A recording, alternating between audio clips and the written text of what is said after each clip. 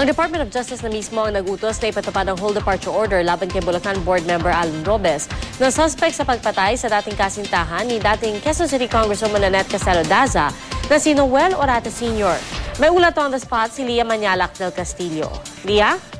Pia, inutusan na nga ng DOJ ang Bureau of Immigration na ipatupad ang gold departure order laban kay Alan Robes, ang suspect sa pagpatay kay Noel Orate Sr. sa bahay ni dating Quezon City Congresswoman Nanette Daza Kamakailan.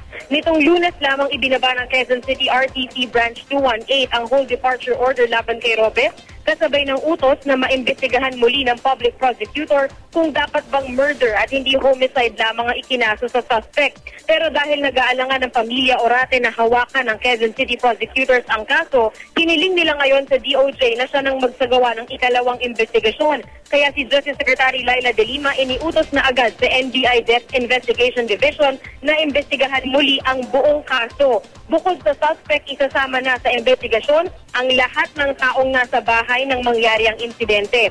Humiling din ang pamilya ng proteksyon matapos makatanggap ng banta sa kanilang buhay. May hamon din ang pamilya Orate kay Daza na dating naging karelasyon ng biktima. Narito ang naging pahayag ng anak ng biktima.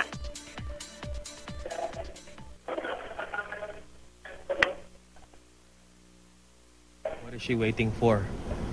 Ilang linggo na nakalipas. Bakit hindi siya lumalabas? Is she hiding? Is she hiding something? I am personally challenging ex-Congresswoman Nanette Castelo Daza to come out and speak to the public. Yan nga naging pahayag ni Noel Orate Jr., ang anak ni Noel Orate Sr. na napas lang sa bahay ni dating Congresswoman Daza. Yan munang latest mula dito sa DOJ. Balik sa iyo, Pia. Maraming salamat, Lia Manyalak del Castillo.